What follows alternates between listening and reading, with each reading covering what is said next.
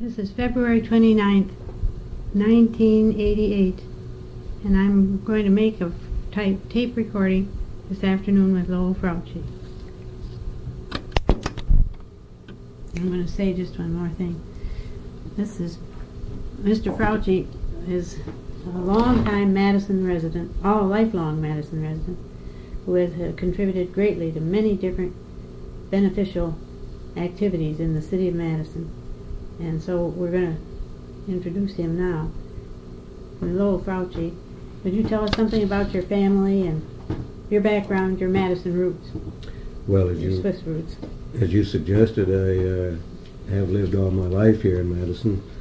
Um, my grandfather uh, came to this country from Switzerland, uh, leaving uh, Europe in 1866 and uh, arriving in Madison uh, and opening a business here in um April of 1869. And the family, that was the beginning of our family here since he Would you just stop for a second? And all together again. No, start right here. Here in 18. Well, then there'll be a break again. I thought a- that was. No, this is all right. It It'll, yeah, it'll be just a pause. Uh, my uh, grandfather uh, met in Madison um, a second generation Swiss girl who'd been um, born on a farm up south of uh, Fond du Lac, but uh, came to Madison to work, and they met in the church which they both attended and which played a very important role in the history of our family. And uh, they uh, had eventually 11 children, of whom my father was the oldest, and uh, of the 11, uh, eight uh, lived into adulthood, and uh, seven survived long enough so that they became in 1927 um, the owner, or I guess it was 1926, the owners of the business that my grandfather had established uh, in equal shares after his estate was settled. The business was um, a combination of the furniture business and um the funeral business, growing out of my grandfather's trade as a cabinet maker. In the 19th century, there were many communities which uh, had um, this type of joint business develop uh, because cabinet makers made coffins and uh, made or bought and sold uh, furniture. So they um, have made coffins, so they had to arrange funerals. and they arranged funerals. And uh, uh, one of my uncles, uh, one of my father's younger sons, uh, was one of the first uh, licensed funeral directors in Wisconsin. Um, in the earlier days, uh, I'm not sure what the controls and regulations were, but um, I assume that it was more a matter of uh, just the physical work and uh, no special uh, uh, technology involved in the handling of the bodies and uh, many other parts of the profession, which uh, gradually became much more sophisticated. Uh, my father was never uh, involved in either the furniture or funeral business uh, directly. Uh, he had a succession of careers as a younger man, but uh, uh, in 1910, along with some partners, had gone into the retail fuel business, and that was his major occupation from then on throughout his life. Uh, he was, however, as the older son and uh, well respected by his brothers and sisters, considered um, the head of the family in some respects, and uh, he was president of Frautschi's Incorporated and remained so until his death. Uh, Were you and Walter his only children? yes, uh, my father and mother, uh, like my grandparents, uh, met uh, through the same church when she uh, came to Madison uh, as a, from a farm down near Mazomanie as a student at the university. my father uh, had not attended the university, but uh, through the church and the young people's organization of that church, uh, they became acquainted. My mother became a school teacher after uh, graduating from the university, but four years later, in or five years later, maybe it was, in 1900, they were married. Uh, my brother Walter was married or was born in 1901, and I followed in 1905. Uh, I had um, expected to uh, do academic work, and uh, after graduating from the university in 1927, I went abroad for a year and uh, then returned, and entered the graduate school, uh, got an MA in 1929, I guess it was, and uh, was continuing my studies when I had a change of feeling about uh, the uh, direction I was going, and uh, having been asked earlier by my uncle Irving Frautschi, who ran the furniture store, whether I would like to work there, I uh, went back to him and asked if that was still possible, and he said yes. So after finishing the uh, first semester of uh, the academic year 1929-30, I went to work at the furniture store in 19, January of 1930 and remained there ever since uh, until I retired You- after we closed out the business. You chose the wrong year to go from a prosperity standpoint. Well, it certainly was a, uh difficult time uh, for everyone in the country and uh, I guess the world for that matter because uh, the, the depression uh, of the 30s uh, affected practically everybody very adversely. The, um, survival of our business was somewhat touch and go, as was the case with many businesses.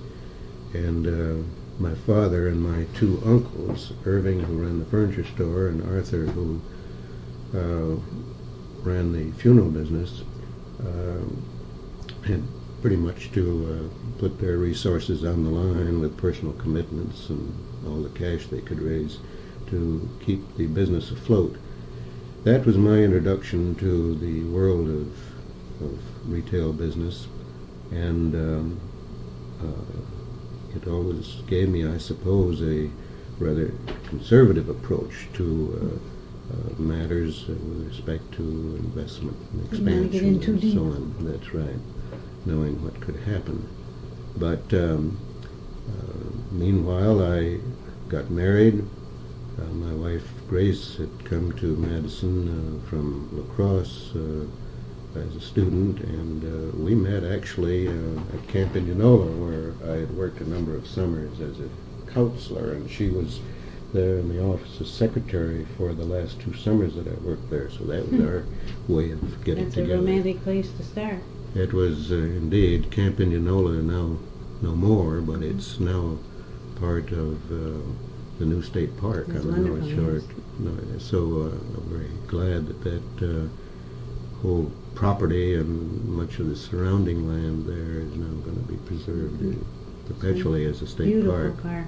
You know. Um, Grace and I had a long marriage, uh, celebrated our 57th anniversary uh, last fall, and um, we have three children.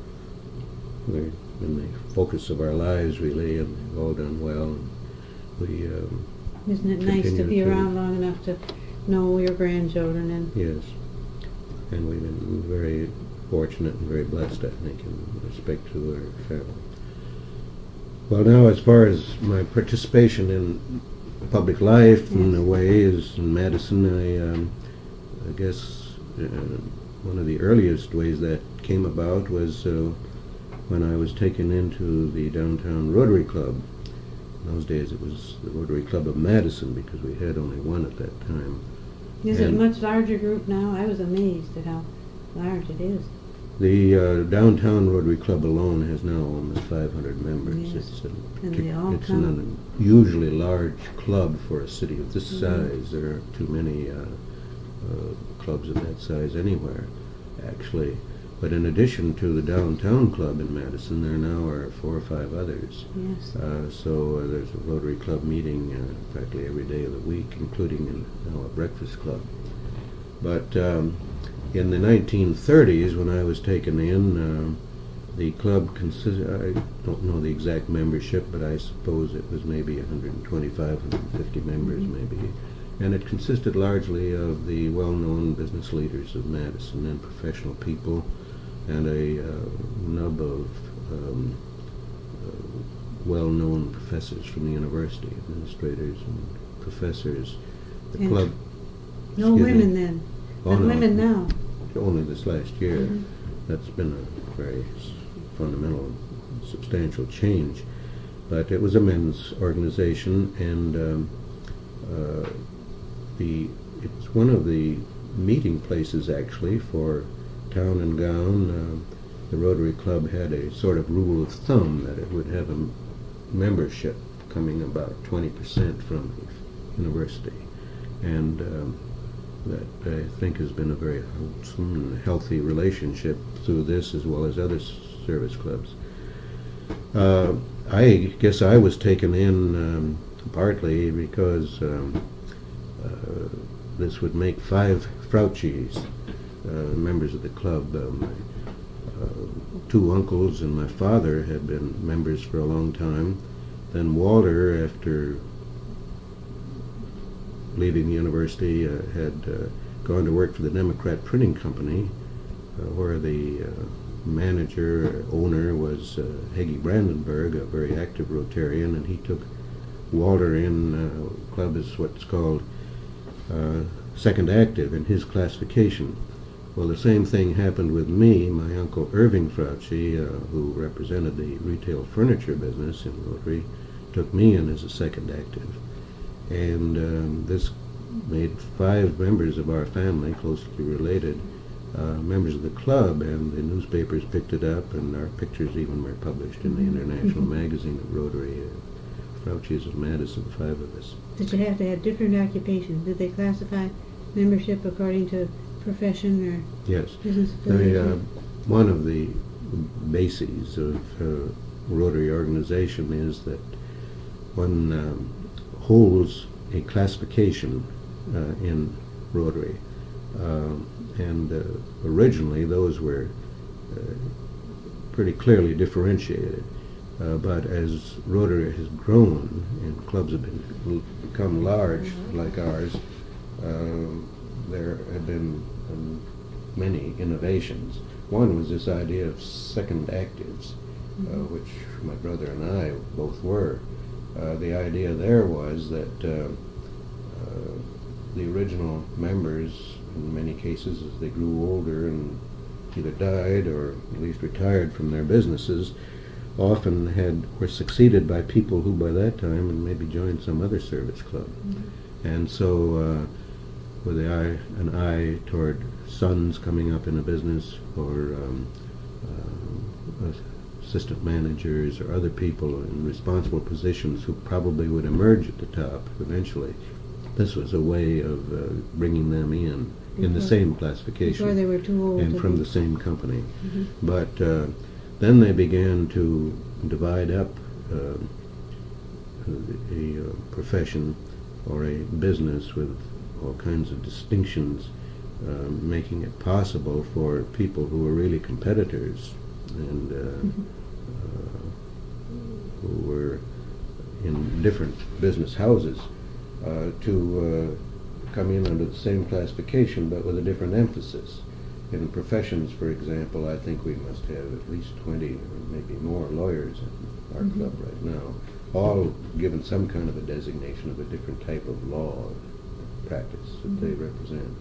In business, uh, well, uh, take the fuel business. My uh, father, I know, being in retail fuel, uh, he uh, welcomed Frank Doyle from the Castle and Doyle Company Mhm. into Rotary, and somehow or other, one I guess was oil, and the other was Coal. Uh, coal or something, and they, Yeah.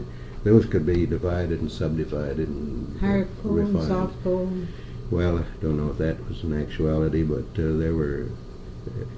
If I had a rotary um, roster here, I could show you what I mean by some of these fine uh, distinctions that are made in order to open it up.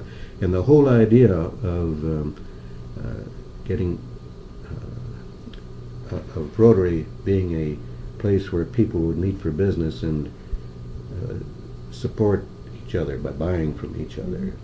I'll buy your suit, you buy my uh, Davenport. Mhm. Uh, that uh, very quickly disappeared, although it had been among the prominent ideas when Rotary was established in Chicago in 1905.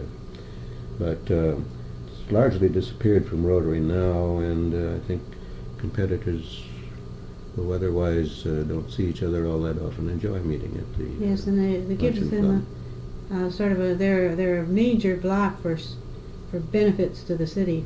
Mhm. That is, it's a large group of people who Mhm. perhaps wouldn't know each other at all except for Yeah. Rotary. Yes, But get that's right. together and do a lot of, a lot of good things. Well, in my case, um, I uh, became somewhat active in the club. I was elected a, uh, a director, which is a two-year term, sometime along in the latter half of the 30s. And uh, one of my responsibilities there was to uh, be chairman of uh, what was called the Inter-Service, uh, Inter-Club Service Committee. And uh, we were given the responsibility for uh, trying to uh, arouse interest in the district conference, which was scheduled to be held in Madison the following spring. And uh, one way that we thought of doing that was to invite a representative of each club in the district, and there are then something like 40 clubs, uh, to send its president and other officers, or at least representatives, to one of our weekly meetings.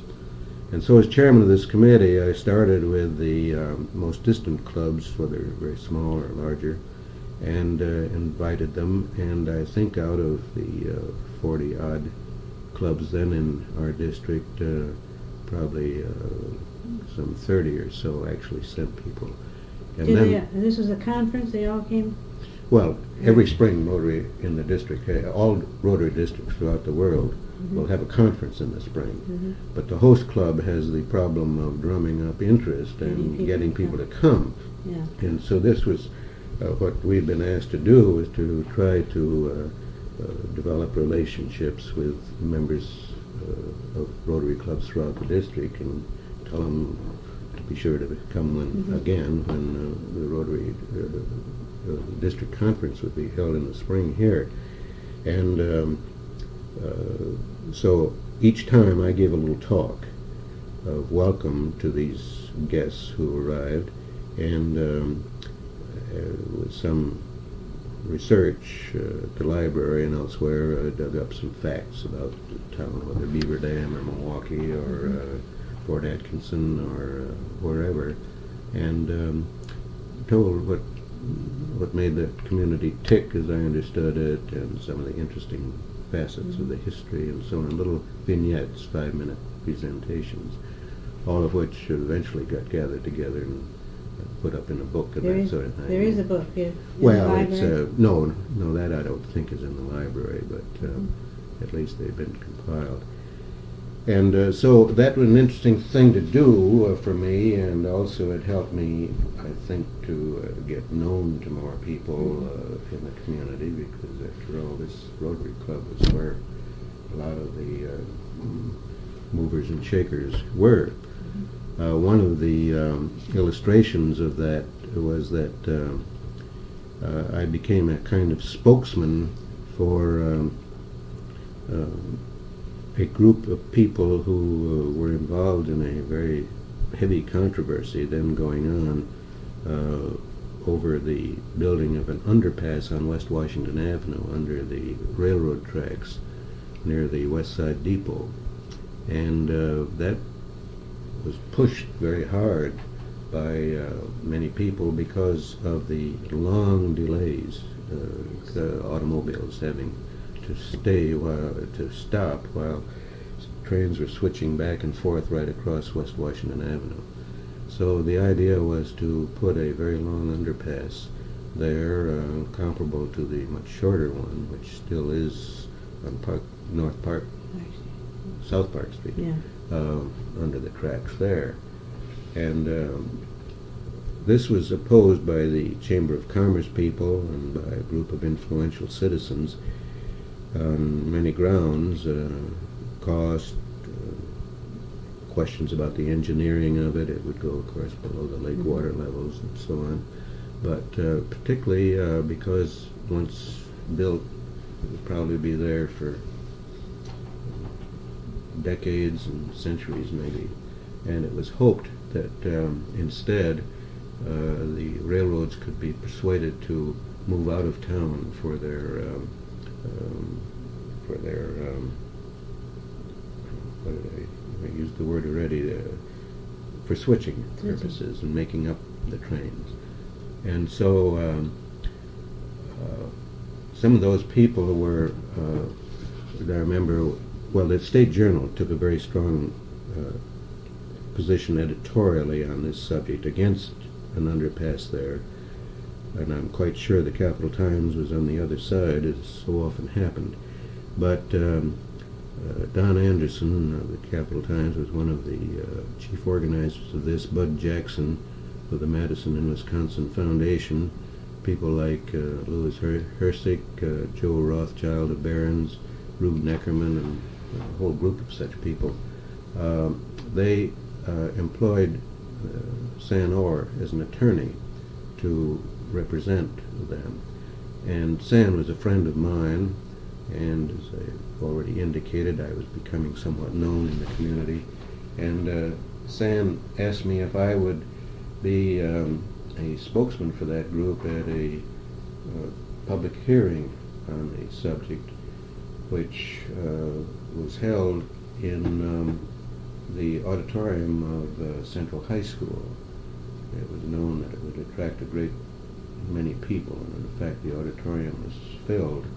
And so there I was, uh, after substantial briefing, giving the arguments against the uh, underpass. Well, the underpass never got built. I don't know that because of my participation, but it- Undoubtedly helped. in any case, it was one of the things that uh, was of interest to me at the time. I got involved in other things too, uh, one of which was a recreation program for young people. Um, that was youth hostels.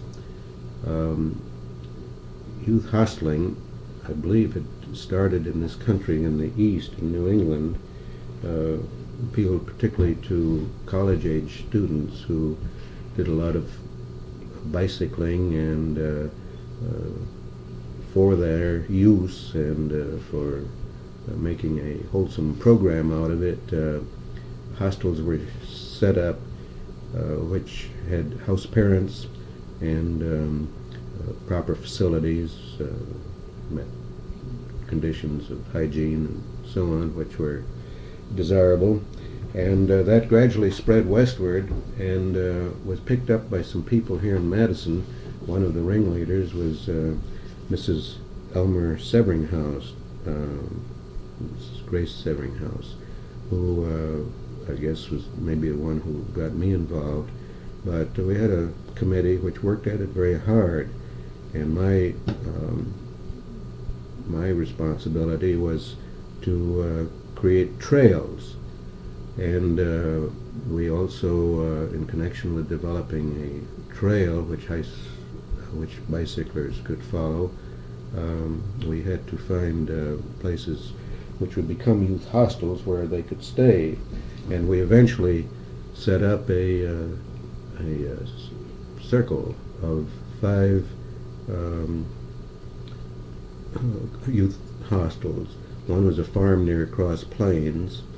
Uh, one was um, a, uh, uh, quaint stone structure on the north slope of Blue Mounds, which uh, had been built by Professor Dixon of the university here. It had never been finished. He had used it as a weekend uh, project for himself and his sons as they were growing. Um, built out of timbers and stone. It uh, looks something like the House of Snow White in the, in the woods, but um, as I said, it had never been finished. Uh, I don't know if Mr. Dixon was staying here or was leaving the university, but at least his sons had got beyond the age where this was of interest to them. And so uh, with him it was arranged that that would be a youth hostel. Uh, house parents would be installed for the summer season, but the building had to be finished. And uh, I remember um, not only the building but the surrounding grounds. I remember spending uh, a couple of weekends out there on work parties, uh, helping to get that place in shape. It's the home that uh, is for many years now been uh, lived in by Professor Johansson of the School of Music. It has a perfect recording room in it, doesn't it? I believe it does, Mhm. yes. Uh, it's had additions to it, I think, and certainly uh, um features built there which weren't there when we fixed it up as a youth hostel, but nevertheless it must look much the same. I haven't seen it for years. Another one of these um, uh, youth hostels was the Sky High Farm up on the summit of Baraboo Hills, uh, still there, a place where you can buy apples Yes, at. Sky High Orchards. Beautiful place. Yes. And uh, still another one was uh, near Key on this side of the Wisconsin River, uh, where uh, an elderly uh, couple agreed to uh, take in the youth hostlers and supervise it. And so we had that um, circuit, and uh, as trail chairman, I spent quite a lot of time and effort uh, putting up the markers that had been Could developed. I ask you about the trails? Are these, you, you used roads where it was possible? Yeah, they were all roads, all and uh, roads. not not the main highways. They were back roads, You usually gravel. Uh, It so- wasn't trails that you cut through the woods? Oh no, no. These were bicycle trails, not Mhm. hiking trails, and because the distance was substantial, I Yes. suppose that total circuit was well over a hundred miles. Mhm. Uh, and uh, if one, oh, the, the other one I didn't mention was right here on the edge of Madison, the Post Farm at the Yeah. entrance to Sherwood. Sure. the posts were um, uh, house parents for uh, for their youth hostel right on their property, and very interested and helpful uh, in doing some of this physical work uh, elsewhere even. But um, uh, in putting up these markers, which were uh, triangular things, as I recall, about six inches on a side, uh, cut out of a sheet of tin or metal of some sort, and um, painted. I believe they were red, painted red, and that was done by another committee. But then I had quantities of things, and I went out and put them along the roads, which were the connecting links between the hospital or between the hostels. Uh, if the flat side of the triangle was down and the point was up, it meant keep going the road you're on. But if you were to turn right, uh, then the point was toward the right, and if the apex of the triangle was to the left, that meant you turn that way. So uh, that worked pretty well. Well, then came our uh, entrance into World War II, and um, the government opened up the Badger Ordnance plant on the Sauk Prairie, and uh, very rapidly that was developed and began to attract thousands of workers who uh, were quartered uh, all over the southwestern part of Wisconsin. Uh, some of them, I think, must have driven 50, 60 miles each day.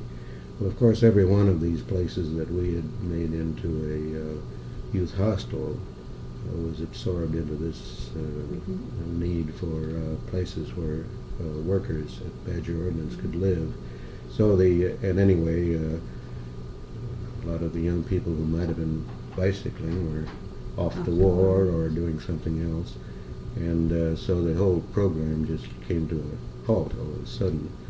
After the war, um, uh, some man, very attractive fellow, out of the east, I think it was headquartered in Boston, National Youth Hostel Movement, uh, came to Madison a couple of times trying to reestablish the program here, but uh, at that point I was not in a position to give it any time, and apparently others weren't either because it never got, got started here again.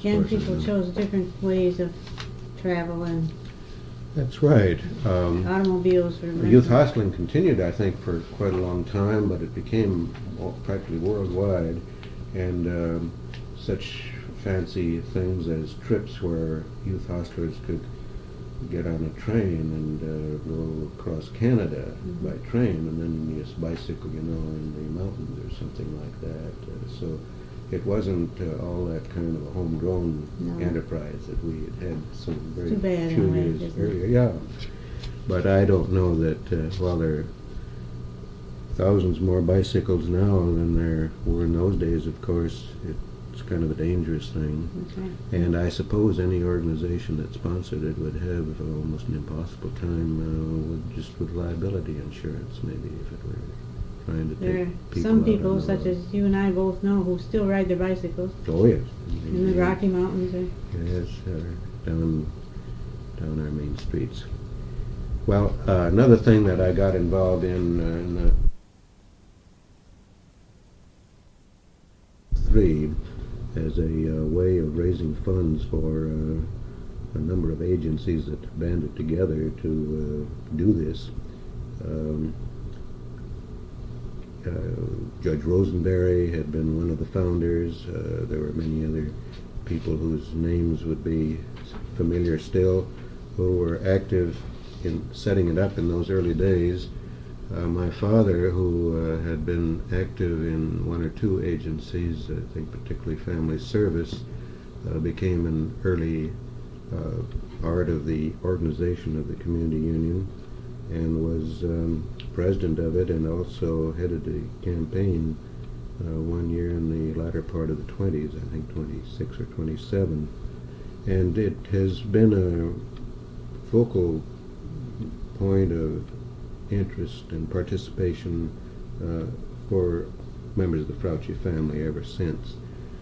I uh, got involved uh, personally um, when uh, Charlie Burt, who is the uh, director of the uh, community union and a personal friend, um, asked me if I would become a member of the budget committee. Uh, this was an important part of the community chest uh, process to receive uh, the budget requests from all the different agencies, to review them carefully, and then to make recommendations, which went into the formation of the uh, annual campaign goal, and also uh, was a way of creating some sort of community control over what these agencies were doing and uh, kind of results they were producing and so on. Uh, I spent four years as a member of that uh, committee, uh, the latter uh, two of the four as chairman of the committee. And I think during those four years we brought the whole process to a much more thorough and orderly uh, uh, basis than uh, it had uh, had previously. Uh, that led to my being elected uh, president of the community union, which was in 1943, and I was president for two years. Uh, however, those were war years, and uh, everything had changed very substantially. Uh, the community union during the depression years of the 30s had dropped in its fundraising to well below $100,000. I think uh, maybe at the bottom of the depression it was able to raise only 60 or 70,000 uh, for all the agencies which were dependent on it for at least part of their support. Uh, during the late 20s, uh, I think the amount raised was in the neighborhood of 125 to 150,000. So it was a very substantial decline with, uh, with much more challenges the way of community needs. And um, in 1941, after Pearl Harbor, when we entered World War II, uh, immediately there were uh, appeals which uh, came from the Red Cross and from the International YMCA and from uh, all manner of different, uh, either UF, what was it called? What were the uh, the recreation program. Yes, uh, for uh, service personnel. Mhm. Term doesn't come to mind. But anyway, those uh, various uh, appeals all were pouring into Madison, and so the uh, people who uh, managed this sort of thing uh, felt uh, that there should be one uh, large effort, one umbrella organization to take care of our local needs through the community union and also all of these wartime appeals in one asking. And um, a new organization called the War Chest was set up with uh, Frank Ross as uh, president of it. He had previously been president of uh, the community union.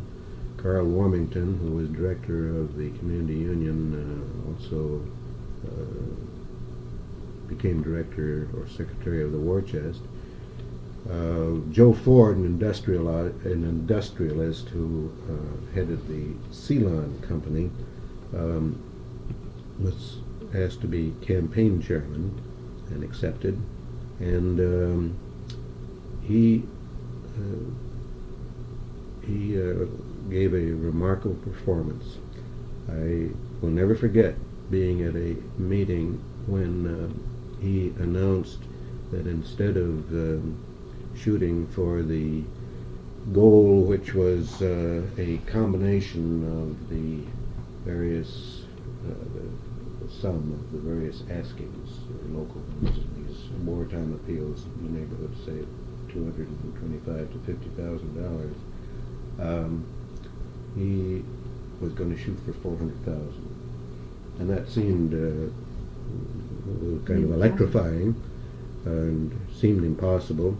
But um, he had uh, laid the groundwork by um, talking to some of his fellow um, executives around the different industrial plants of Madison and um, saying that they all had to uh, kick in um, amounts that they had not considered ever before and um, tied it in with um, their labor relations.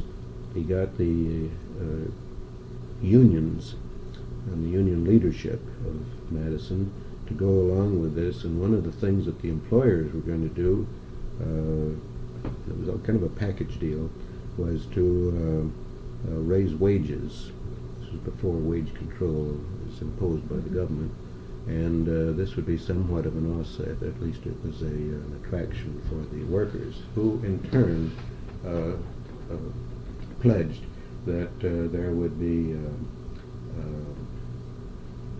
compulsory or uh, required uh, giving to the war chest uh, by all of the members of the union in a given plant at various rates, but think the minimum that was talked about was a dollar a month. And so the idea of withholding originated at that time. This was actually deducted from the wages and paid into the war chest. Well, $12 a month or some plants 24 or 36 dollars a month. I mean, uh, a year. A year. Um, of course, added up to real dollars, and um, people who before had not given anything to the local drive, or maybe who would give five dollars, even if there were 15 agencies, and think that was enough, so found themselves almost without pain uh, giving 12, 24, and 36 and more dollars a year and meanwhile the uh, uh, employers, company, and uh, other professional people in Madison and so on all responded somewhat in proportion.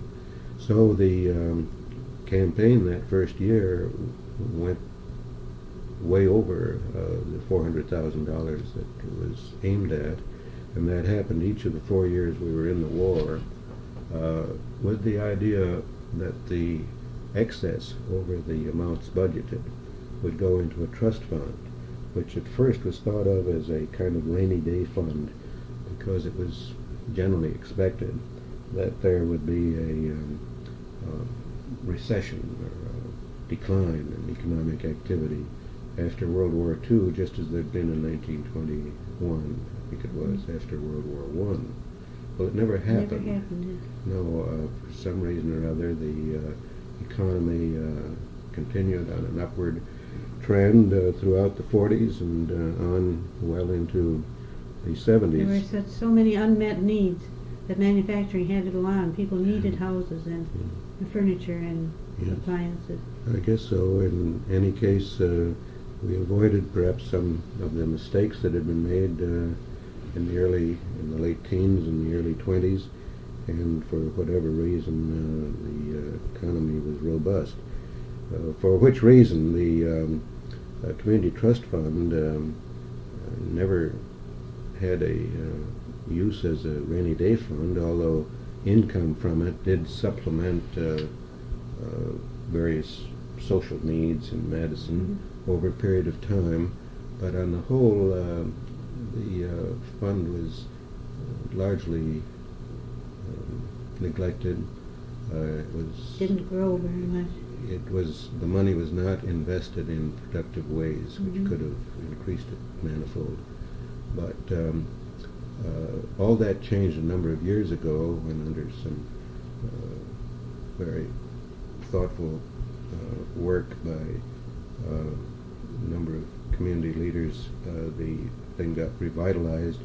Uh, Carol Toussaint went to work as a staff member for it, and then later Mrs. Jane Coleman headed it, and under her leadership uh, the thing has uh, taken off so that uh, by soliciting um, the incorporation of other trust monies in there uh, for a variety of purposes uh, and in various ways, which is too complicated for me to try to explain.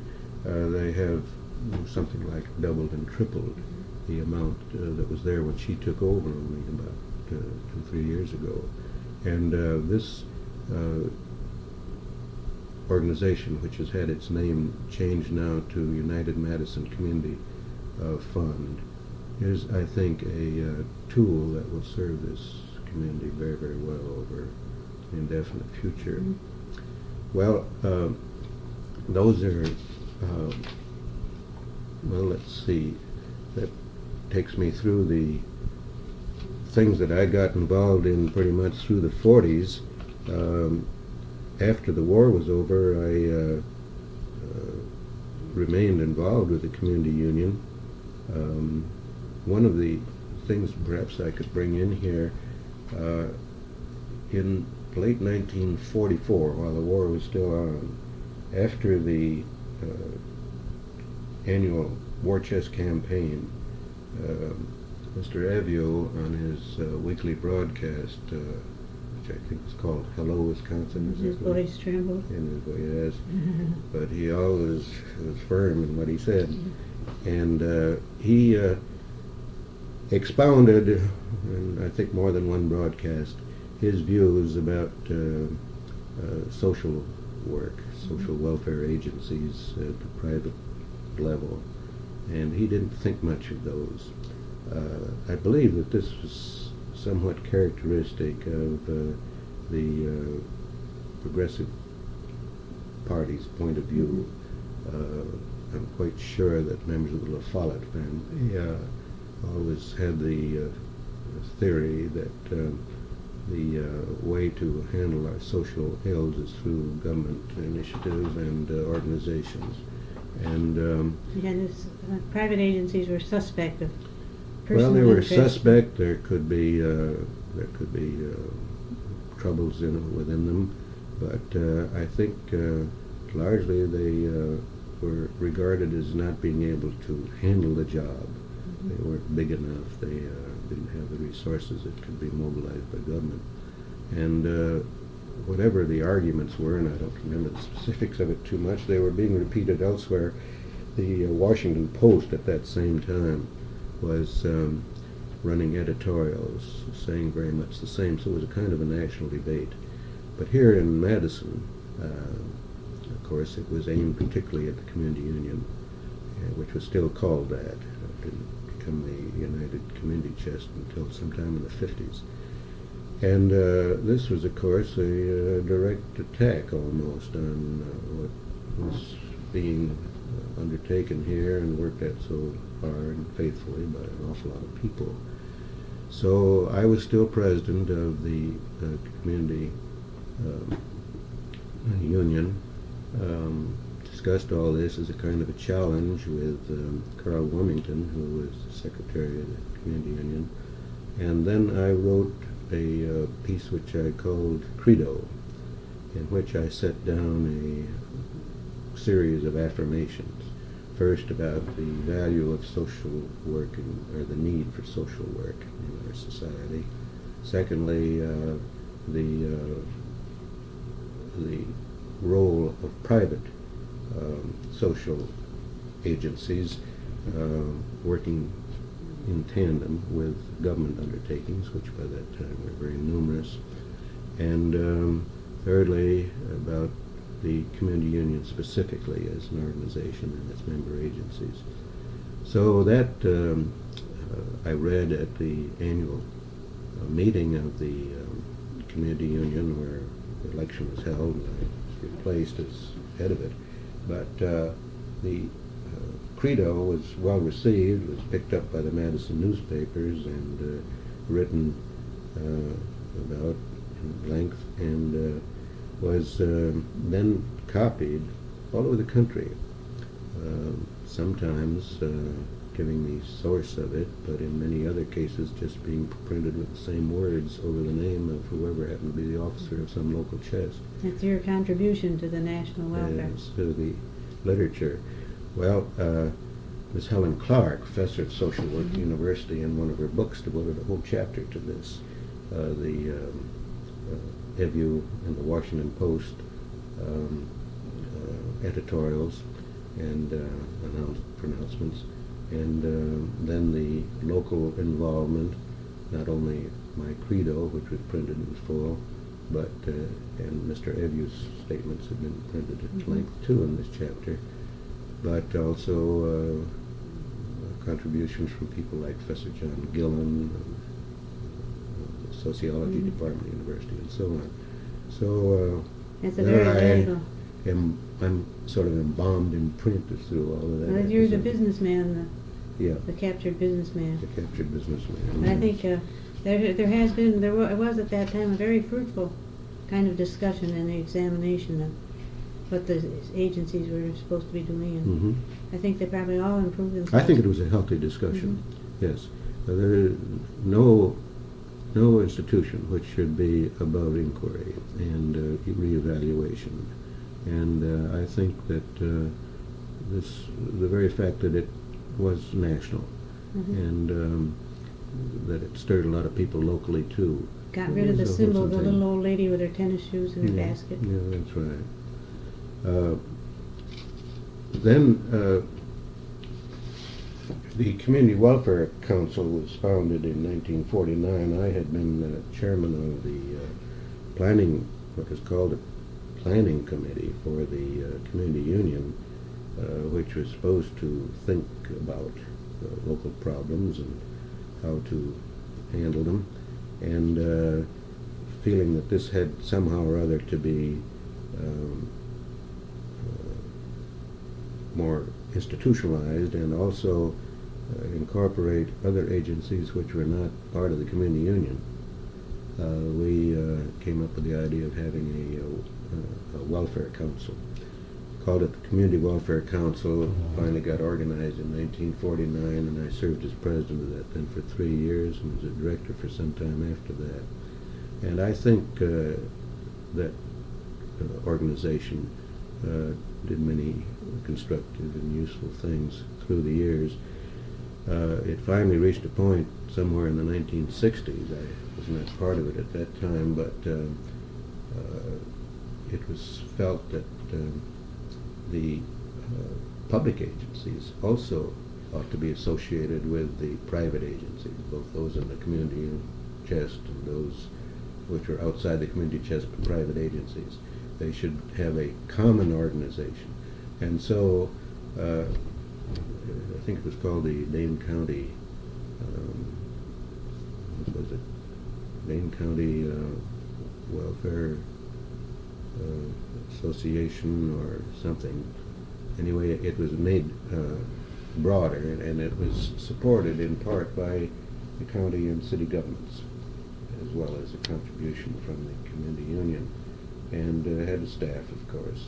But that ran into trouble down the line and eventually petered out, so we don't have anything like that anymore. And uh, through just natural evolution, I guess the uh, whole process of planning for the community has tended to center itself again more in what's now called the United Way, which is the successor organization to the things I've been talking about.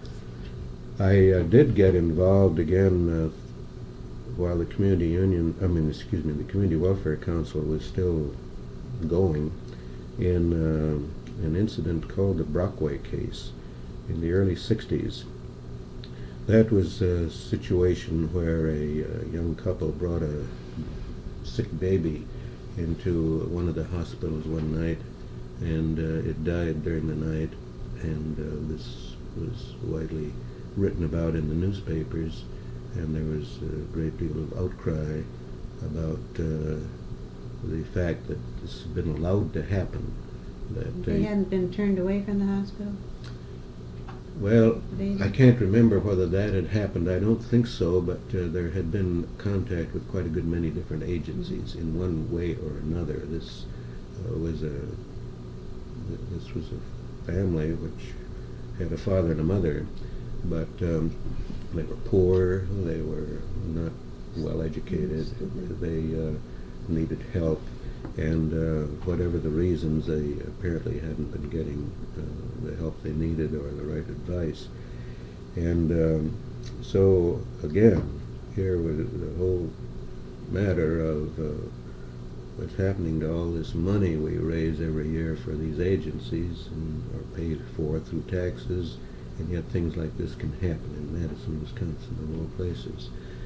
So the uh, president of the uh, Community Welfare Council, who was then Gordon Sinykin, asked me if I would head a uh, committee of inquiry to see what had happened and to make recommendations. And um, he appointed a committee of I think, 20, 25 people, including medical people, and social workers, university people, and um, uh, represented both newspapers.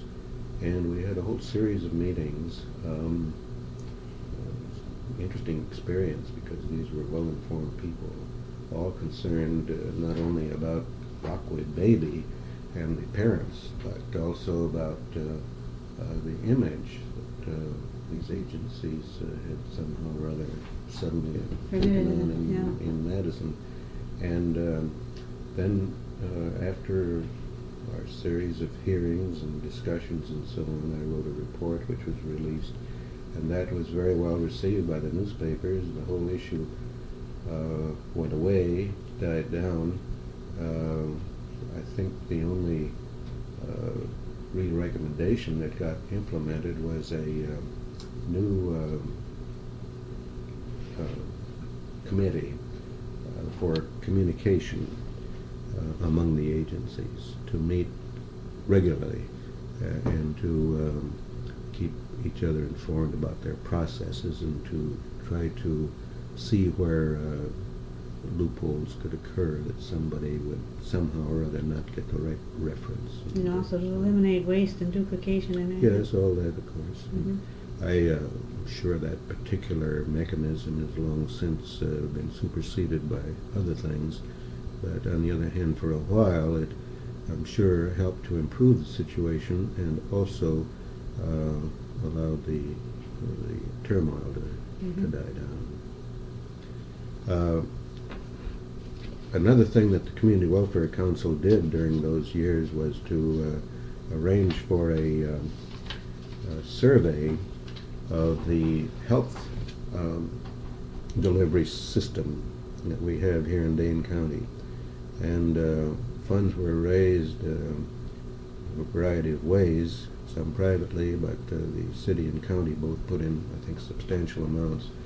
And a firm called the Steinle Organization was brought to Madison to make a study of, of these matters. Uh, it was divided into uh, several segments, the major one having to do with the hospitals, but uh, also um, nursing services uh, outside and the, uh, the health organizations that were, of course, sort of thing we've been looking into with the, in the Brockway case. And um, uh, a report was published, I think in 1961, uh, called the Steinle Report, uh, which um, made innumerable uh, suggestions as to things that Madison and Dane County as a whole needed. And um, uh, in order that that committee not, I mean that that report not just uh, be filed away and forgotten, uh, it was determined that there should be follow-up committees to uh, try to implement the, or examine the recommendations and then implement them if desirable. And I was asked if I would chair a committee on hospitals, which uh, was a new involvement for me just at a time when I had uh, been phasing out a lot of these uh, things that I'd been engaged in previously. And I thought about it very carefully, went and talked to the administrators of all four of our hospitals um, and uh, asked them about their opinion of the report and its recommendations and uh, whether uh, committee work of the type proposed would be productive and worthwhile investment of time and effort it need. And all of them urged me to take it on and I decided to do so and it turned out to be an extremely interesting and valuable experience for me, I think. The committee was an excellent one. Uh, the four administrators were all active on that committee, and doctors and a variety of citizens with interest in this uh, area. And um, out of that committee on hospitals, which I think was in existence for about two years, or maybe a little more, uh, we made two proposals, both of which uh, came about.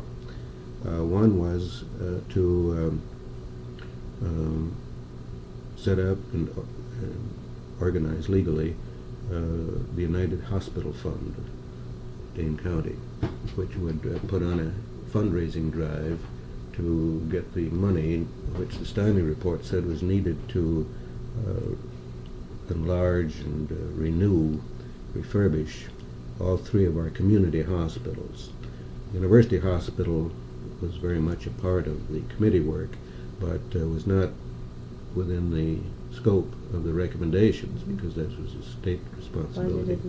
But uh, the uh, St. Mary's Hospital, Madison General Hospital, and Methodist Hospital as our community hospitals uh, were to be the recipients of funds, which uh, Steinle had said in a scale of I think five and a half million dollars for the three. This is for construction and improvement for, for construction and improvement, updating, updating and uh, not for daily care. But ma ma mainly, um, no, no, this was not for care. This was mainly for phones and mortar. Um, emergency rooms began to develop then. So well, people weren't turned away at the hospital if they. I think we were just on the um, threshold of a period of very rapid change mm -hmm. in the delivery of health care having to do with hospitals. But uh, the federal government, you know, in the 50s or 60s got into the hospital business in a big way, and uh, we, yeah, we had a uh, rash of uh, hospital building all over the country, uh, some of it quite ill-advised, being put into places geographically which were to the done without much planning because it had to be done so quickly. Planning. You're right. But uh, after all, here we had this uh, um, asserted need in uh, Madison for new hospitals, and at the same time there was a real um, effort on the part of many people on the east side of Madison to have a hospital out there too, mm-hmm. or instead. And uh, so the East Side Hospital became a part of this uh, problem in setting this thing up. Um, the uh, goal for the campaign was first put at five and a half million, where Steinle had proposed it be. And uh, the first thing was that we got an organization in, not the Steinle organization, but a professional fundraising organization, and as usual in those situations, they uh, made a survey of Madison in order to see what the potential was in their judgment. And they came back to us after a couple months and said, you can't do it at five and a half million. The most we can see is three and a half million. Well, there'd never been a campaign even on that scale in Madison before for anything. And uh, this was, you see, the middle 60s by that time. And um, so three and a half million uh, seemed to be, if it were attainable, seemed to be worth going after. And um, so that became our goal. Then the problem was to um, get um, uh, somebody to head the campaign and set up an organization for it. Even with a, a professional financial um, organization, one needs, I mean, fundraising organization, one needs local leadership. And uh, that proved to be extremely difficult. I spent a lot of time at that, working mostly with Mr. Leo Crowley, who was in this whole enterprise as a representative of St. Mary's Hospital. I got to know Leo fairly well at that time and uh, became very fond of him. He was really quite a remarkable person. But um, we visited one um, business executive after another, and uh, for a variety of reasons, got refused all along the way. And uh, finally got uh, Dwayne Bowman to head the campaign. It was the head of um, Bowman Dairy Company. And uh, so he did take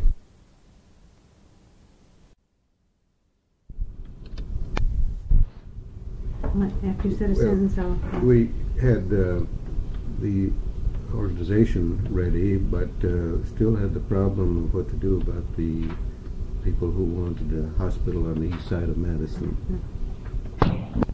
Me or something. I.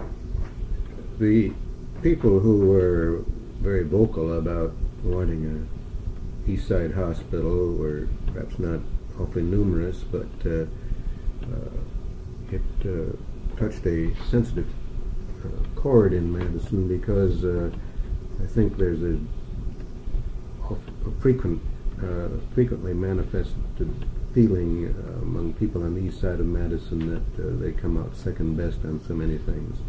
And so uh, in launching a campaign to raise um, money for the three community hospitals, we had to deal with the question of what the general impact of that would be among people on the east side, even though uh, the leadership was uh, limited.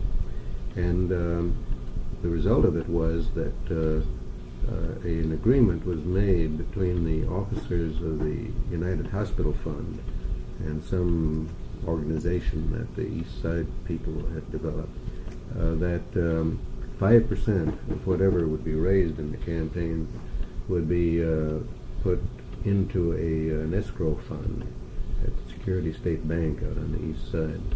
And uh, that um,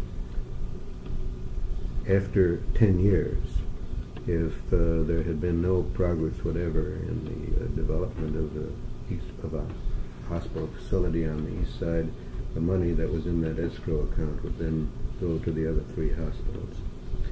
Uh, in the event, it turned out that uh, nothing did develop, of course, in that line, and eventually the money did go to the other three hospitals. there changes, these emergency room setups that are in the clinics out there and the way of taking care of Yes, people? I don't think there's any longer a uh, cry for uh, an East Side hospital uh, because everything has changed so much. Uh, not only uh, better ambulance services, but uh, recognition that the uh, costs involved in hospital operation and equipment and so on is so great that it's just beyond the realm of feasibility. And as the city grows, these, it grows to the west, these three community hospitals, They're pretty central. central, yeah. They're central now, and uh, this is generally recognized. And uh, so uh, I think time solved that problem. But at the outset of the finance campaign, uh, it was a touchy one, and that's the way it was handled. the campaign uh, did not reach the goal of three and a half million. The amount obtained uh, for solicitation pledges was in the order of uh, two hundred and seventy-five thousand dollars, and um, that, uh, or excuse me, uh, two, two, two, two and three quarter million Yeah. two and three quarter million, which was divided up on a formula which uh, gave a larger amount to Madison General and the equal amounts to uh, uh, St. Mary's and Methodist. That had been something uh, a little touchy too to come by was a formula that they would agree on, and the uh, solution uh, was due to um, Leo Crowley, whom I mentioned before. He um, proposed that. Uh, let's see, what was the division? I hesitate to mention it, but it, it was a larger amount for uh, Madison General Hospital. They were the larger hospital, and an equal amount for St. Mary's and Methodist. And I think it would have been quite possible for uh, Mr. Crowley uh, and others from St. Mary's to have argued that they should have had more than Methodist as of then. But it was his proposal that they and Methodist be put on an equal basis, and uh, that broke the, the logjam, and we, came up with a And formula. that considered him sort of the, the next thing to the Pope. Yes, well, he was knighted by the Pope, and uh, Madison's leading Catholic, I'm Mm. sure. The other thing that the uh, uh, Committee on Hospitals, which I chaired, uh, proposed was the formation of a health planning council, which would carry on continuous planning with professional staff uh, instead of just relying on an occasional study like the Steinle report, in which we were working, but which very quickly gets out of date.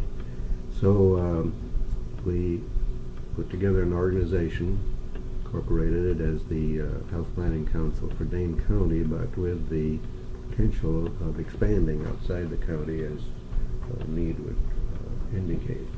And um, there again, I served as president for the first uh, two or three years, I think it was three, and continued to be active in it for quite a while after that. And uh, I think the Health Planning Council also, like Community Welfare Council, was a very worthwhile undertaking. Uh, the um, staff grew to about 10 people. Uh, it expanded into 11 counties, the whole southwestern corner of uh, Dane County, because the federal government passed legislation You mean of Wisconsin? of Wisconsin. South. I said Dane County, I guess. I meant Wisconsin. 11 counties Mhm. were incorporated. The uh, federal government adopted legislation which uh, um, provided that every part of the country should belong to a, uh, whatever the term was, Health a, planning a, a health planning uh, continuum of some Mhm. sort. And uh, while, and so Wisconsin was assigned seven of them. And uh, here, all of a sudden, instead of having one county, we were given the responsibility of being the agency uh, for these 11 counties going west to uh, Crawford and uh, Way to the uh, ri- Mississippi River. Mississippi River, yeah, and down to the south uh, Mhm. uh, the state line. And um, that, of course, was uh, a very considerable undertaking, but it occurred, and the organization continued to do very useful work until the federal funds for that sort of thing uh, were closed out last year, and the Health Planning Council had to fold. It did, before that, though, it exerted a good deal of influence, I didn't it, it in did. preventing the, the willy-nilly development of hospitals? Uh, one of my personal involvements in that, after I was no longer an officer or even a director, was to um, engage in conversations with our four hospitals here about uh, heart transplants, which um, the um, all four hospitals, uh, University Hospital is doing it, and uh, or I guess it isn't transplants. I'm misspeaking. I mean uh, open heart surgeries. Uh, they had a program at St. Mary's. Um, they were doing a little of it at Methodist, and uh, Madison General wanted it. And uh, the question was, not one just on Mhm. fairness among the hospitals, but what did the community need when the uh, expert uh, opinion of the time was that uh, uh, such departments weren't apt to do awfully good work unless they had a sufficient volume. uh, And an enormous hundred or more investment in the equipment. and a lot of money.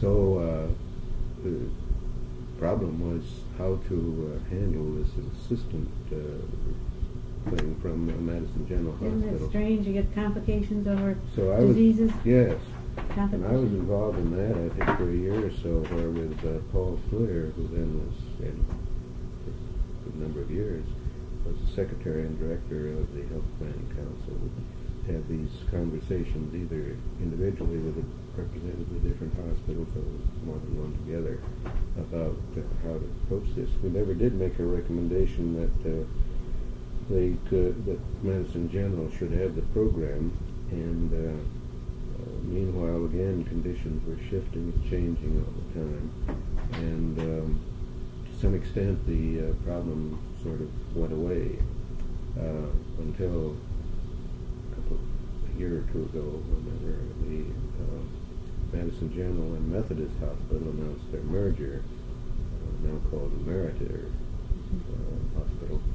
with two locations, and the shifting of some uh, departments within the two facilities uh, will give Madison General access to open heart surgery, which they didn't have before. But again, that's part of the very, very rapidly uh, changing uh, situation uh, with respect to the delivery of health care everywhere, as well as in medicine. And uh, I don't feel at all well informed about it, but at least for a time, I uh, thought I was sort of on the cutting edge of some of things. They, they really do develop rapidly. Yes. And there's the problem about town and gown in, in the medical profession, isn't there? yes, there's that. They don't even know each other very well in the university Well, hospital. There, there still is uh, friction there, and um, on the other hand, uh, the doctors themselves are uh, uh, trying to adjust through membership in HMOs and Yes. uh, other things to uh, to the uh, circumstances that involve them so much, and uh, liability insurance has become such a problem for them. All kinds of factors that we didn't even talk about 20 One of the things. I've been aware of is how long they, how long the doctors have to wait for their money when it goes through Medicare and Medicaid and all those factor. years sometimes. Well, I've talked about things now down through the uh, 60s and even into the 70s, but uh, to go back again to the 50s, there were some involvements I had then which I might just say something about. hmm Um, one was um, well, that that was the period when the country became very disturbed and tense over um, an excessive uh, uh, feeling of danger from the communists hmm and uh, Wisconsin Senator McCarthy um, uh, took advantage of that by uh, his campaign to rout uh, communist uh, sympathizers and actual communists out of government service, particularly in the State Department. I never became active politically in any way, but I just had an instinctive uh, feeling that this was uh, a very harmful thing for our country Bad from the very outset. Uh, Mr. McCarthy, or Senator McCarthy's uh, dealings and uh, charges and speeches, and um, I became involved in it publicly without intending to do so when um, the uh, State Furniture Dealers Association, Wisconsin Furniture Dealers Association, which I had been active at one point as a director, was holding its annual convention in Milwaukee and engaged uh, Senator McCarthy as the featured speaker at the banquet for the convention. So uh, I chose not to go, and I sent a note to uh, whoever was the officer, the secretary of the association at that time, whom I knew, and said this that I didn't wish to go because I'm sorry, Can you shut that off?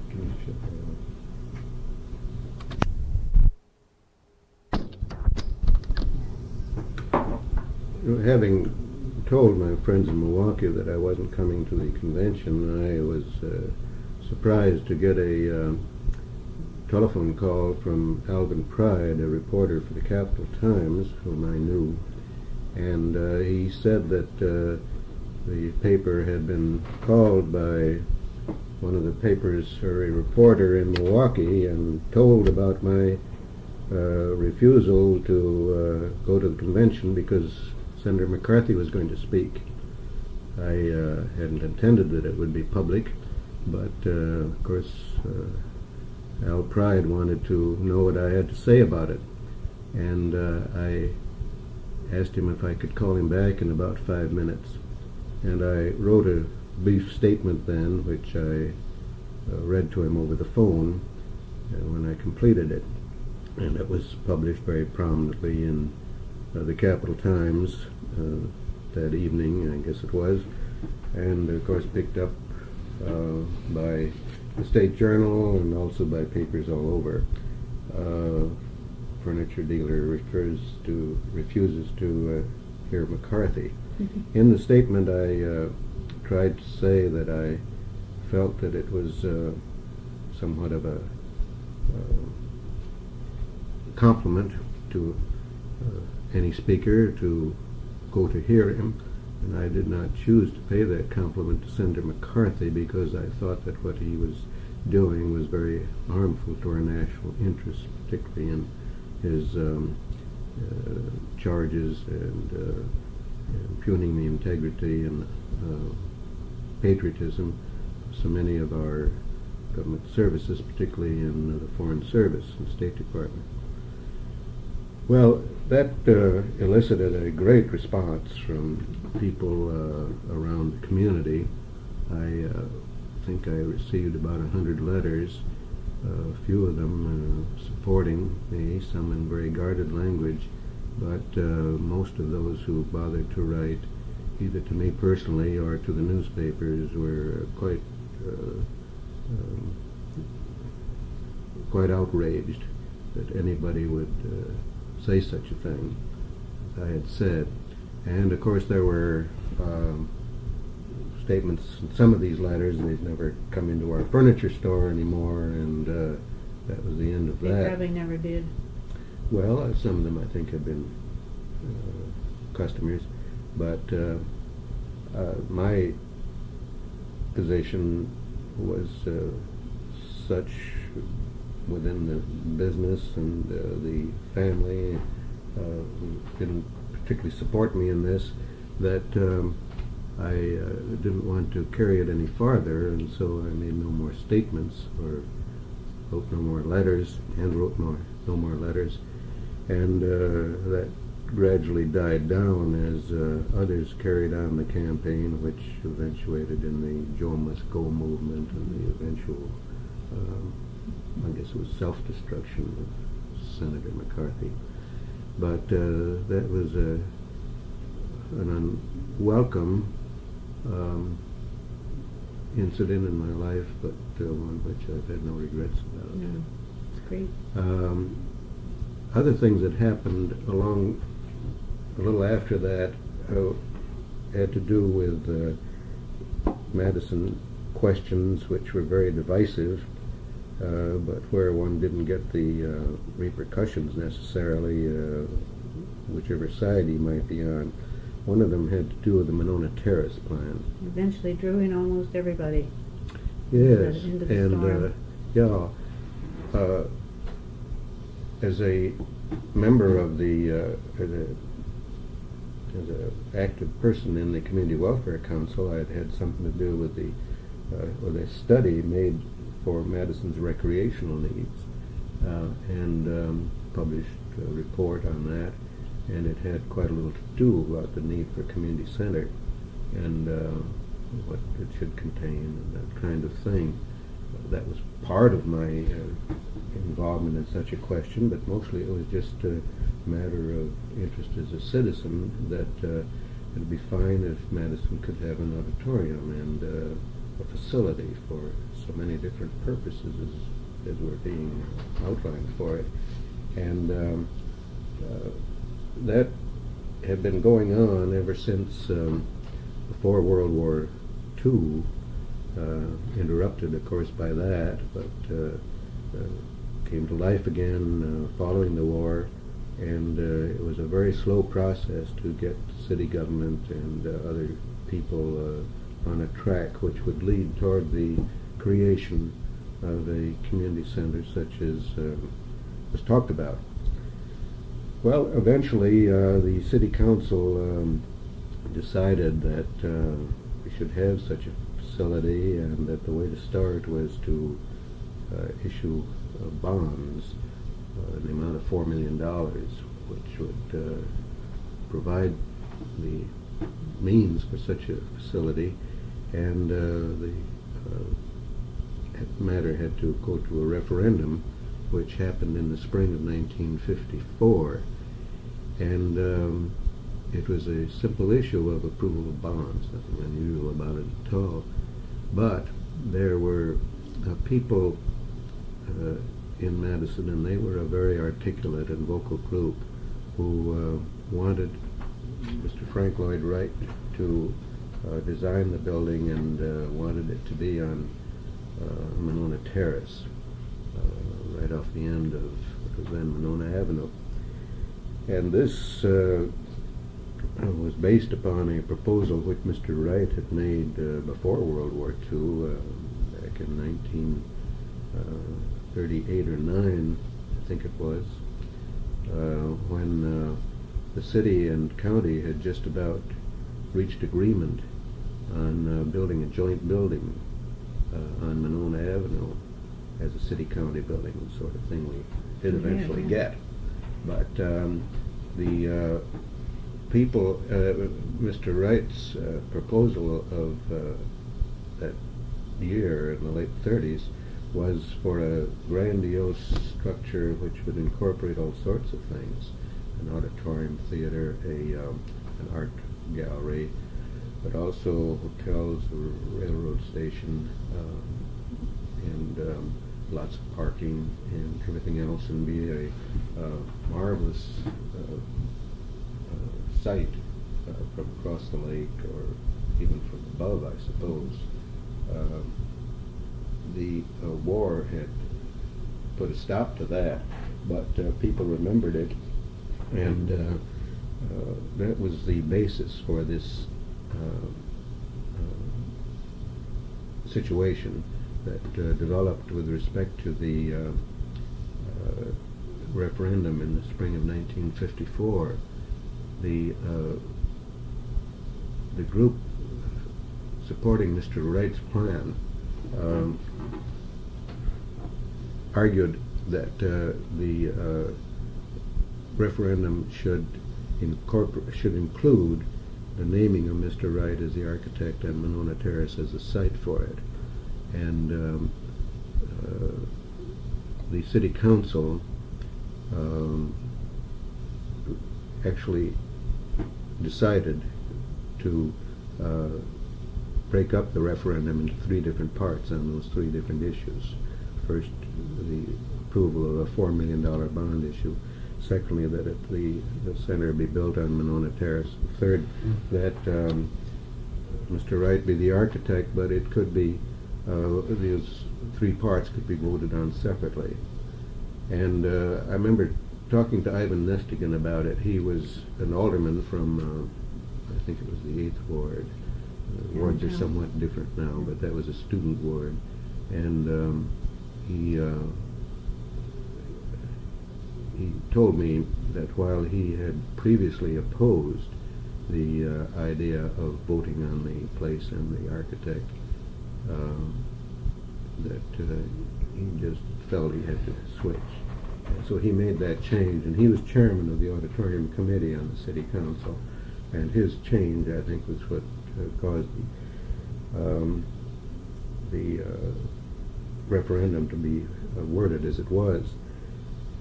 Uh, meanwhile, the people who uh, wanted the referendum to go through, but not who approved Mr. Wright or um, or the Monona Terrace as a site, no, were not active at all. They were playing it quietly, thinking these things would never carry. They thought that uh, Mr. Wright didn't have that kind of following, except for this very vocal. such vocal enemies. And he had he had real critics here. So uh, they uh, they didn't say anything, and I thought that that was a uh, mistake. And I wrote a letter, which I sent identical letter copies to both newspapers, uh, saying that uh, I thought that um, it was too bad that uh, we were being asked to vote on the site and on the architect. That uh, site proposed and the architect proposed should be considered, of course, but they should be considered by an expert commission of some sort or, or a delegation of authority to make that determination. The only thing we should really approve would be to uh, um, uh, approve the bonds. And um, that was picked up and played up very proudly, front page, of both newspapers with editorial comment all that sort of thing, and I began to get letters about that, some of which Turning made me a wild radical of your, feeling a little bit, well, no, here I was an arch conservative, I Yeah. guess was the problem. an enemy of the people. Uh, well, uh, and uh, artistically blind and Mhm. that kind of thing. So it made me feel a little badly about some of the individuals who uh, made such comments, but that wasn't comparable to the uh, emotional involvement in the McCarthy thing. They were quite different. Anyhow, uh, the outcome, of course, was that um, the uh, on the three questions, the bond issue was overwhelmingly approved. The uh, Monona Terrace was uh, approved by a smaller margin, and uh, the selection of Mr. Wright as architect was approved too, but by just the barest of margins. So we had that situation, and the rest is history as to all the uh, things that happened uh, and didn't happen. It effectively put a stop to the, Yes, uh, and it was many years before uh, we finally got a uh, community center, theater, and so on on State Street, which is, uh, which is, no- nobody had in mind at the time. which is perhaps a uh, dubious solution, but at least we got something done. Uh, still, uh, another uh, thing that happened in that period, and this was how I happened to get to know Ivan Nestingen quite well. Um, there was a uh, push by merchants, particularly on the um, west side of the square and down State Street, to uh, get parking.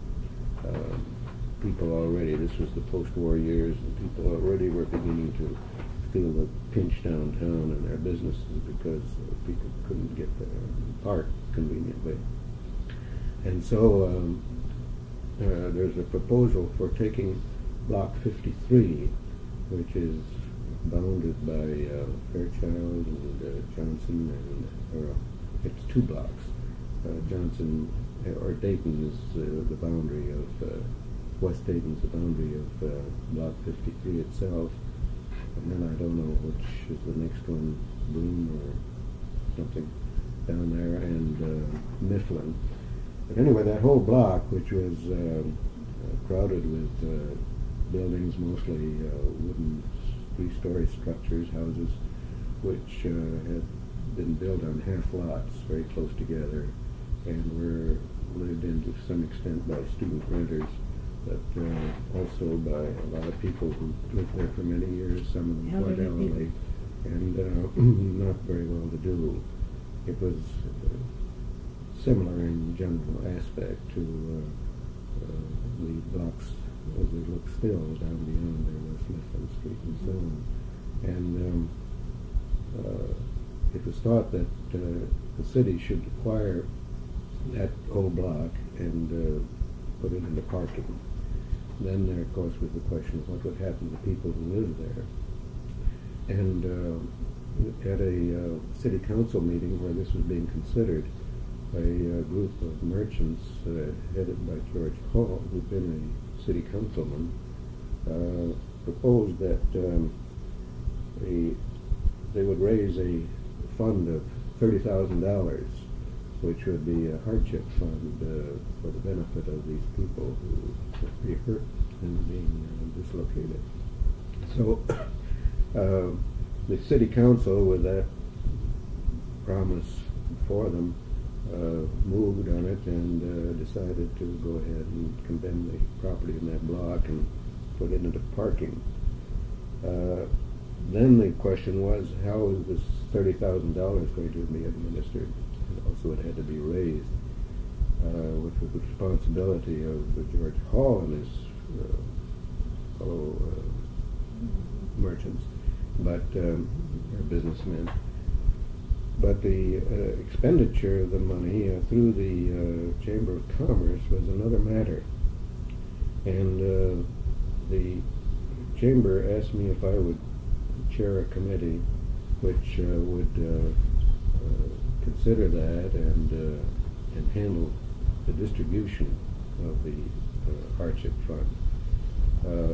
along with myself, people appointed to it were Ivan Nestingen, who was the uh, alderman in that ward, uh, Mrs. Sophie Siebecker, who was the uh, very much respected head of Family Service Agency, um, Robert Peck, who was out of the uh, uh, Chamber of Commerce organiza- or, uh, personnel, Mrs. Joe Wilson, who was a social worker, Walter Sharr, the father of President Walter Sharr or Terry Sharr, who was uh, in the insurance business, and myself.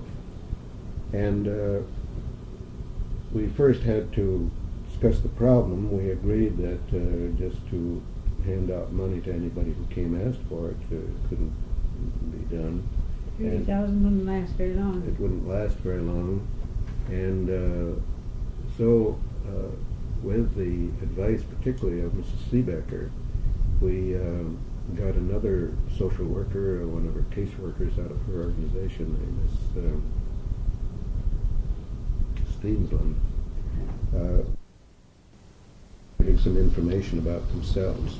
And um, uh, then uh, that was to be followed by an interview by Miss Steensland and a report to our committee, which would make uh, case-by-case determinations.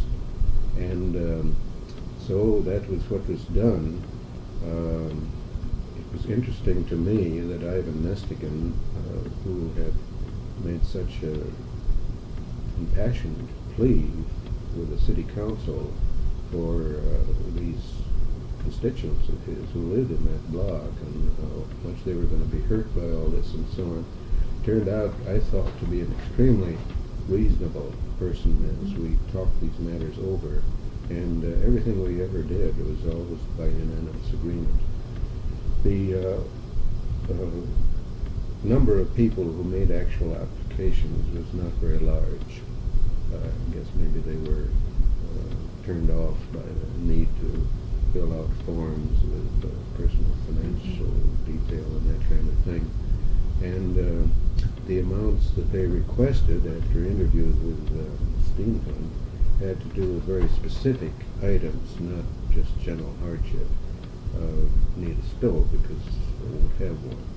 I need an ice box or a refrigerator, same reason. Or uh, my job just won't support the kind of rent I'm going to have to pay, but they also had to know what the new rent was going to be. So it was an actual dollar amount differential between what they had been paying, and what the new uh, location would require, and uh, so on. And on those rental cases where we uh, supplemented, it was uh, agreed that it would last only for 12 months, which would give people time to make personal adjustments and so on.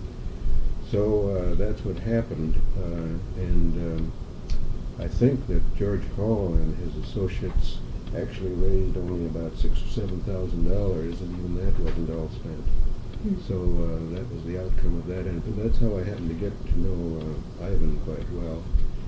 And then when he was elected mayor, one of the first things he did was to say that uh, he was going to inaugurate a uh, new period in Madison's history by setting up a large committee to study the uh, uh, future of the city and its needs and proposals and uh, he uh, appointed uh, this committee, which he called the Metropolitan Development Committee, with Attorney Jack DeWitt as the overall chairman, and subcommittees, which one was um,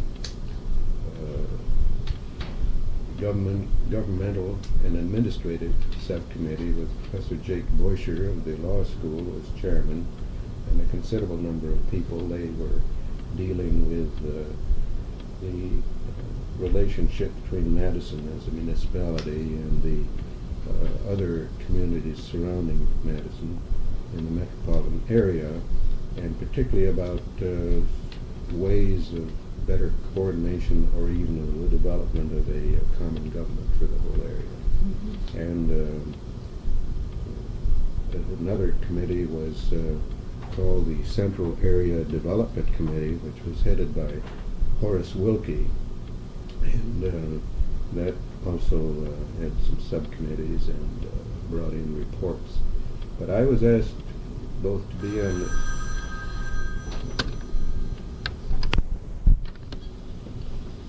I was asked to uh, be on the steering committee and also to uh, head a subcommittee on the fiscal and economic base for for Madison and the whole area, and uh, agreed to do that, and um, found it to be a very instructive uh, engagement for me because of the other people who were on the committee.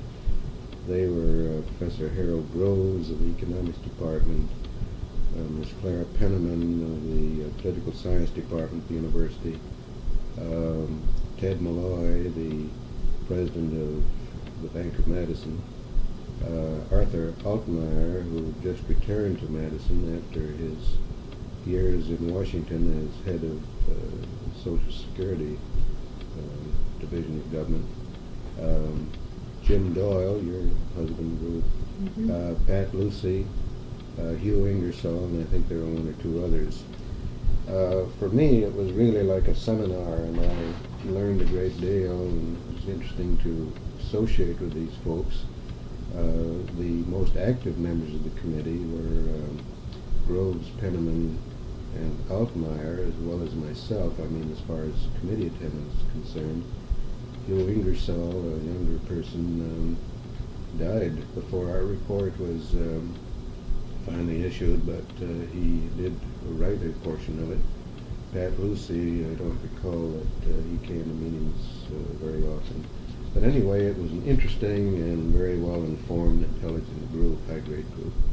And uh, uh, the whole committee produced a, a rather extensive report, of which the bulkiest part by far was um, the report of our committee uh, with charts and uh, data, uh, papers written by staff members. We did have staff because uh, Nestor saw that these committees were uh, provided with funds and um, papers written by uh, the rest of us individually. I wrote one, I remember, on uh, uh, industrial development for Madison and the surrounding area. Well, when, how, how, how, do you have any idea how close we've come to there in the ensuing years? I never had any way of judging whether, Seems to me a lot of industry has left Madison and a lot of insurance, economic insurance businesses, that kind of business has come. well, it'd be interesting to reread the report, but after all, I'm talking about 30 years ago. Yeah. Uh, we were, we brought it out in 1957, so it is just 30 30 years. years. And uh, details like that. Would make an interesting paper for some graduate student to work. Well, maybe so. Uh, I took a glance at it just this morning, knowing that we were going to be uh, talking about this. Uh, and uh, well, I certainly didn't read it all. I saw that uh, in what I had written that there was a projection that the population of Madison uh, along about uh, 1975 would be a neighborhood of 180,000. Well, that isn't answering your question, but at least on that particular thing, we're very close to the Very mark. close, yeah. But of course, the growth that's occurred has been outside of Madison. Yes. It's the metropolitan area that's so much bigger, And and that highlights the uh, need for uh, more coordination in government. It's still being talked about, of Mm. course, in the present campaign for county executive. Yeah. But uh, that was what Jake Beuscher was wrestling with, how you could come about with some kind of uh, metropolitan uh, government. I uh, don't know. Uh, I think as a matter of interest, I should reread what I had to say about uh, industrial development, but I saw enough in just glancing at it this morning to see that some of the problems were uh, not unlike those which we still have. Yeah, never For one thing, a division of opinion in Madison as to whether we want to be an industrialized city or not.